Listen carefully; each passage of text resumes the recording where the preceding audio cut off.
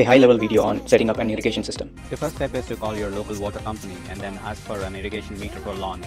Here in this image, it's on the right side.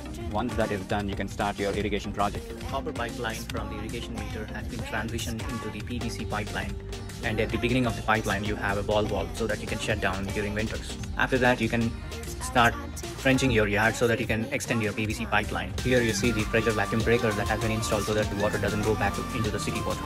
After installing the pressure vacuum breaker you can extend your main lines into your yards. This is the machine that is used by the contractors to pull the PVC pipes into the ground without actually trenching the ground. This makes the project pretty easy because it does most of the work without any effort. It is amazing to see how this machine effortlessly drags that pipeline and there is hardly any trenching going on there. For trenching underneath your sidewalks, there is a separate attachment to the Ditch Witch for NSX. This is a drilling bit that can be added to trench underneath the sidewalks. Also, the contractors run the irrigation wiring along with the PVC